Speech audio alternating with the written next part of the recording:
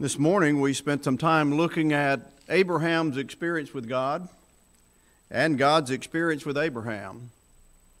And when all was said and done, and Abraham was called upon to offer Isaac as a sacrifice, he did not withhold his son. And when God saw that and knew that, then he responded by making sure that a sacrifice was available to take Isaac's place. In that experience, Abraham designated the place where that experience took place, and he called it Jehovah Jireh. Jehovah will provide. And we spent some time looking at the spiritual application of that that we ought to always know as we see the promise kept to Abraham that brings it all the way through to us being heirs according to the promise. And that promise being that all the nations of the earth would be blessed through the seed of Abraham. And not just blessed in a, a prosperous way of living on this earth, but blessed in a way of a sacrifice being offered for them and redemption being theirs. Tonight we want to look further at that particular emphasis and put it in a New Testament context of Philippians chapter 4. Oftentimes we go to that chapter and we really enjoy, at least I do, looking at chapter 4 and verse 13 that underscores what should be our approach and our philosophy to life. I can do all things through Christ who strengthens me. And that should be our attitude and disposition. But in the context of what we're talking about today, Jehovah Jireh, that God will provide, this context echoes that. There are more verses to that particular section than just verse 13. Look with me, if you will, at beginning at verse 14. It said, Notwithstanding, you have well done that you did communicate with my afflictions. Paul acknowledges that these Philippian Christians did something well. They helped and assisted him in his ministry. He said, Now you Philippians know also that in the beginning of the gospel, when I departed from Macedonia, no church communicated with me as concerning giving and receiving, but ye only. But even in Thessalonica, you sent once and again unto my necessities, not because I desired a gift, but I desired fruit, you may abound in your account. But I have all and abound. I am full and have received of Epaphroditus the things which were sent from you an odor, a sweet smell, a sacrifice acceptable, well pleasing to the Lord. You remember we spent a few weeks ago time looking at the spiritual fragrance that is pleasing to God. And this was one of the verses that we looked at that here's an attitude and disposition and an action of Christians that not only assisted and helped Paul, but was a sweet smelling savor to God. Now look at verse 19. But my God shall supply all your needs according to his riches in glory by Christ Jesus. Sounds real familiar, doesn't it? It sounds like what Jehovah Jireh means God will provide. Now, he gave these Christians credit by saying, You've sent once and again to my needs. But he understands that that would not have taken place had they not been in Christ, had they not had the same goal and the same purpose in mind. When we describe our experience in our family sometime, particularly when we, we get older in life, or we might say more mature in life, we look back at our parents and say, they were a good provider. We might say of our father who worked multiple jobs. You know, well, he was a, a really good provider. Our mother, who was always dedicated went the second and third mile to, to make sure we had what we needed, she was a good provider. Now, while we were growing up, we might not have thought that. We might not have gotten our way, or may not have gotten exactly what we wanted when we wanted it. But when we got older and looked at all it takes to provide for the needs of the family, we had a different perspective and said they were good providers. They may not have had the, the extensive education. They may not have had advanced job, but they work really hard to provide for their families. Well, in this context, a lot of work is going on with Christians. And it relates back to their relationship with God because He was a good provider. And you see, because God provides so well, He has expectations of us. When you look at how the Lord provides for us in Matthew chapter 6 and verse 8, when He's teaching disciples how to pray and what to pray for, He says that God already knows, the Father already knows what we need before we ask. And so when we're talking about our needs and those being provided, Paul said, You provided once and again for my needs. But here's what you need to also know is that, that God shall supply all of your needs. A good provider knows what the family needs. And we're a spiritual family, and the Lord already knows what we need before we ever ask. You see, parents are that way, aren't they? They know what we need before we ask. We may ask for things, but they already know what we need. Now, when we ask, we might not always ask what, for what we need. We may ask for what we want. But there are occasions when we ask for things that we need. We may not be sure at the time when those things are going to be provided, but our parents would already know that we need them. So our spiritual father already knows what we need. He knows that those things will and can be provided for us on His timetable. When you look at broader context and reference to that, He also knows why we need it. And we might even say when we need it. There's an occasion in Paul's life, the one who wrote this letter to the Philippians, when he writes to the Corinthian Christians in, in 1 Corinthians, or rather 2 Corinthians chapter 12, it's interesting when you look specifically at his relationship with that thorn in the flesh. He ends up praying three different times for the Lord to remove it. In his mind and in his experience, it was an imposition that hindered him from doing what he felt like he should do and wanted to do. And when you look at that context beginning at verse 8, he says, For this thing I besought the Lord thrice, that he might it might depart from me. And he said unto me, My grace is sufficient for thee, for my strength is made perfect in weakness. Most gladly, therefore, will I rather glory in my infirmities, that the power of Christ may rest upon me. Therefore, I take pleasure in the infirmities and reproach, in necessities and persecution and distress for Christ's sake, for when I am weak, then am I strong. And he tells us in that context that the Lord told him the reason for that is so that he would not be prideful in himself. Now that wasn't Paul's reasoning in that, and you and I know Paul well enough that his he didn't say, "Well, if you take this thorn in the flesh away, I'll just be able to enjoy life in general." Paul just wanted to serve God. But whatever the thorn in the flesh was, and we ask lots of questions about that, don't we? We have lots of speculations about what that just has to be. And sometimes it's because of what our thorn in the flesh is. Say, it has to be this. Because here's something that I would love to be removed from me, and, and that must be what Paul is undergoing. But whatever it was, this God who knows what we need also knows why we need it. He felt like whatever that thorn in the flesh was, Paul needed a reminder of his dependence on God. Paul needed a reminder that this life wasn't the end of things.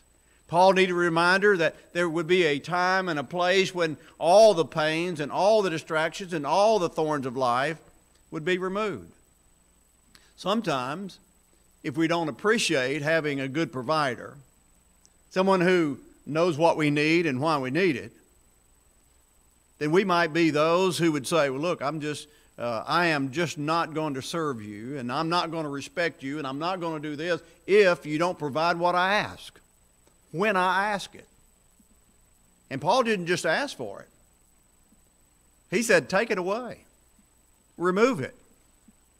And he didn't just ask once, he asked three different times Take this away from me. And God refused to do it. The request was made. God knew he had a thorn in the flesh before he ever asked, and that's what Matthew chapter 6 and verse 8 says. He knows before we ask.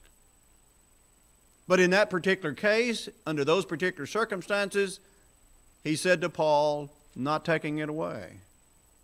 Because as a good provider, he knew what Paul needed. And you heard Paul say, Look, in my weakness, I'm made strong. In those things I can't control that, that God has refused to take away from me, it lets me know what my relationship to God really is. And I can bear up under that. I will bear those afflictions because I know what my Lord has borne for me. When we recognize who the provider is and how well he provides for us, it ought to inspire us to do his will. Hebrews chapter 10, beginning at verse 32, describes for us this endurance of life that we're to be in. And it puts it in the context again of what's been provided for us that we have to understand that we devote ourselves to enduring through this life so that we can have the blessings of the life to come. But then when you get in the third place, you see in, in Ephesians chapter 4, verse 28, he not only knows before we ask what we need, and he not only knows why we need it, but the Lord knows as a good provider he knows what we ought to do with what He's provided. You know, when our parents provide for us for things, they expect us to use it. If they buy us clothing and they expect us to take care of them. If they provide us things for school, they expect us to use those constructively in our studies and our preparation and our homework. Their expectation to say, this is what I'm providing for you and this is why. This is how I intend to use it. You know, nowadays we get all kinds of things that are just gifts and, and no expectations. But there are some of us can remember even when we got things like bicycles, they were for a reason. You had a paper route or something you had to do that bicycle, or you had to go to the store and run the errands. It wasn't just a gift. It was to aid you in doing the chores that would help and assist in the family. It might be fun to you to ride on it, but there was a responsibility of you to take care of it and to run those errands that needed to be run. Not everybody had vehicles so they could just run to town four or five times a day, and, and so chores had to be done. So there was some expectation to say, I know you need that, but here's what I expect you to do with that. When you look at passages like Ephesians chapter 4 and verse 28, that same apostle who spoke to those Philippian Christians and said that God will provide for you, that God will sustain you, that God will provide all your needs. He said to the Ephesian Christians, Those of you who have stolen, steal no more. Rather, work with your hands. Now, you can't read into that and say, work with your hands so you'll have everything you need. He said, work with your hands that you may have to give to them who have need. If the Lord gives you strength, and the Lord forgives you from stealing, and you have an opportunity to, to work and take care of yourselves, you work with the intent to help take care of others also. You work with your hands with the intended purpose so that you can have to give to those who need. Now, this God who is a good provider, and who provides for all of our needs expect us to be participants in providing for the needs of others. Now, that passage in Philippians chapter 4, Paul said, You sent once and again to my needs. Now, he closes his thoughts by saying, God's going to take care of your needs, but he acknowledged, Here's what you're doing with what God blessed you with. You've sent to me on many occasions to assist and to help me in my afflictions. He's grateful for it. He's inspiring them to continue in it. He's kind of, in essence, saying, You have these blessings, now you use them to God's glory. And God will continue to be a good provider for you. He will continue to give you those things that you need because He knows you'll use them for what He intended for. You ever provided something for someone? They needed it. And you provided it for them and they didn't use it for what it was intended for? Disappointing, isn't it? You think, well, you know, I, I took from my own funds.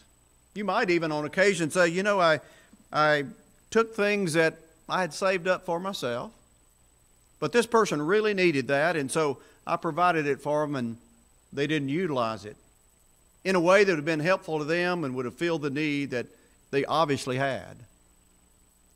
So God provides for us, and Paul said, You can count on that. Your God is a good provider.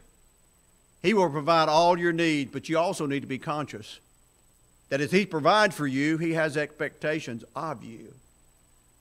That you would work and provide for others. And then you look at passages like Titus chapter 2. Um, and you look specifically at, excuse me, I think it's Titus chapter 3. And if I've got my chapters right, chapter 3 and verse 12, he talks about he shall send Artemas unto, unto thee, or Tychicus. He said, Be diligent to come unto me in Nicopolis, for I am determined there to winter. You notice the interchange there of the manning of the forces? He said, I'm sending someone to you, and I have expectations that you send someone back to me. I know that there are needs that you have, and I'm sending folks to take care of that need. And here are the interactions of Christians who God will provide for. God's a good provider, and so He created this network of people that He provides for. And Paul says, I'm sending folks to you, and, and they're going to be an encouragement to you. They're going to help you, but I plan to winter here, so I want you to send someone and something back to me. That's really the way it's supposed to be, isn't it? He knows not only what we need before we ask it, He knows why we need it. And He has a expectation of how we're supposed to use when He provides those needs. Paul continues in that context and said, Bring Zenas the lawyer and Apollos on their journey would uh, journey diligently, that nothing be wanting unto them. You send them unto me, and you make sure you provide what they need on their journey to me. There's a process to that, isn't it? There's a function going on among God's people. All the forces are being manded here. Ministries being taken care of. The gospel being preached. And everybody involved here has been blessed by God to be a child of God. And now there's some expectations. We're in this thing together. And I'm going to make sure you have what you need, and we're going to be conscious that all of our needs are met by God because He's a good provider. You know, when all is said and done, if our parents were good providers, we'd be total ingrates, wouldn't we? If we were parents and not good providers. That we had responsibilities and we didn't carry them out. We had those who were dependent upon us and we neglected them when we had the example and we were conscious that people provided for us when we could not provide for ourselves. So it is in Christ when we recognize spiritually we're in need. We're in need of a spiritual uh, physician to heal us and to make us whole, for a sacrifice to take our sins away, for a Savior to come and redeem us and take us to heaven. We're in great need spiritually. And if those needs have been met by the good provider, the Jehovah Jireh, Jehovah provides. If He provides, then those of us who have His provisions are to be as Paul describes here. Notice verse 14 of Titus chapter 3. He said, And let ours, I like that terminology, don't you? Let ours also learn to maintain good works for necessary uses, that they be not unfruitful. Let ours. You know, it's kind of us, isn't it? We make up this congregation. We're the ours of the local sphere here in Crossett. And Paul is having this conversation with this collected group of Christians. he said, those that are ours, those among us, those that we're talking about, those that have experienced this beneficiary relationship with God, those who understand the responsibility, you make sure that those who are ours learn to maintain good works. How do you get the reputation of being a good provider? You just don't bring home one paycheck and provide one meal. You get the reputation of being a good provider if you constantly provide the meals and care, don't you? And that's when your life is summed up and the experience of growing up in that environment say, here's what I remember. They were good providers. Because that environment was maintained. The good works were constant. And so we acknowledge their past influence on our life and say, they were good providers. Paul said, here's what's going on with us. We've got to stay active in these things. I'm going to send what you need. I know there are things that you need to accomplish, and here people help you accomplish those. Here's what I'm going to stay here for the winter. You send those things back to me. And while you're at it, you remind them who we are those who are ours, those that we have influence over, those that we are identified with, those of us who know God as the provider. Let's be busy at good works. He said, for necessary uses, that they be not unfruitful. You see, to have that training and that upbringing and be taught those skills and have that example and not use it would be unfruitful. But when you maintain it, you replicate it, then that good work continues. And that God who is a good provider, that Jehovah Jireh, says through his Son in the Sermon on the Mount in Matthew chapter 5 Ye are the salt of the earth. But if the salt has lost its savor, it is henceforth good for nothing but to be cast out and trodden under the foot of men. Ye are the light of the world. Cities set on a hill that cannot be hid. Neither men light a candle and put it under a bushel, but on a candlestick, and it giveth light to all in the house. Jehovah Jireh, who provides all good things, has expectations of those who are ours, those who are His. He said, Let your light so shine that they may see your good works and glorify the Father who art in heaven. You see, when we're doing those things for others that God has done for us, God gets the credit for it. How many times have you said in your life, when somebody compliments you about your work ethics or you providing for your family or your love for your family, how many times have you related back, here's what I was taught? And you connect it back to the one who taught you.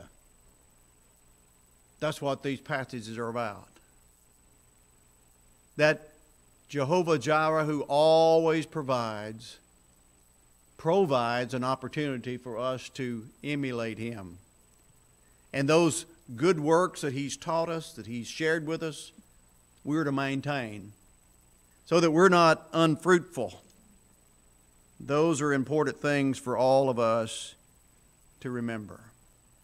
When you think about those matters and you realize how important it is for us to, to do those good works. May we refocus our minds and say, you know, this Jehovah Jireh, who will provide, knows what I need before I ever ask. Now, in that passage in Matthew chapter 6, he's encouraging us to ask. But he's encouraging us to ask of someone who already knows what we need. And so, if we're asking for what we need, we have someone who provides for our needs. And we have Jehovah Jireh who knows why we need it. And so that means that he may not give us what we ask for because he knows what we need and he knows why we need that. But He will explain that to us in our lives by blessing us in the efforts we put forth in His kingdom. But that Jehovah Jireh also knows we ought to use the blessings He's bestowed upon us and the needs that He's filled. The Philippians 4 passage contains all those components. Paul says, You know, and I want to remind you of what you know. God will provide for all of your needs. But I also want you to know that you've represented God in sending and taking care of my needs on many occasions. And I'm grateful. And I'm appreciative. And I want you to know that what you've done and what you continue to do goes up before God as a sweet smell in His presence. Parents look at their children who take those lessons they've learned and those provisions they've made and they use them wisely and they duplicate that work ethics and they're kind to others and they provide and protect their families. They look at that the same way God looks at us maintaining those good works with the blessings He bestowed upon us. We know, according to James chapter 1, in verse 17, every good and every perfect gift comes down from the Father of life, in whom there is no variableness, neither shadow of turning. That variableness, there's no change or altering in God's disposition, His personality, or His provisions. Every good thing that's possible for us to have comes from Him. And that never changes. In other words, He is a good provider who has always been is currently, and will always be a good provider of all that we need. The greatest need that you and I have is for our sin to be removed. And Jehovah Jireh sent his Son to take away our sins. In that while we were yet sinners, Christ died for us. If we recognize that and we acknowledge that He's done that for us, that He is the very Son of God. He is the answer. He is God's provision. And we're willing to then turn away from our sins that caused Him to have to die in the first place. And we're willing with our own lips to acknowledge all of His spiritual provisions that are made possible in Christ, and we submit to Him in baptism. Then we have put ourselves in a position to be able to address Him as our Father and know that He knows exactly what we need, why and when we need it, and that He has expectations of us as we rise to walk in newness of life to be known for good works, and He'll be glorified for it. Those of us who are children of God, these letters are written to Christians to remind them of who they are. And Paul said, you remember when he spoke to Titus, and let ours learn. Ours, those who are already in this blessed relationship with God, remind them of who we are, that they maintain those good works so that they're not unfruitful. When we become unfruitful, we can confess our unfruitfulness, and Jehovah Jireh, the God who provides, will provide forgiveness. If we confess our sins, He is faithful and just to forgive us our sins and to cleanse us from all unrighteousness. And that's our greatest need, isn't it? That constant and continual cleansing. If we can assist that be true of you tonight, you let that be known while we stand and while we sing.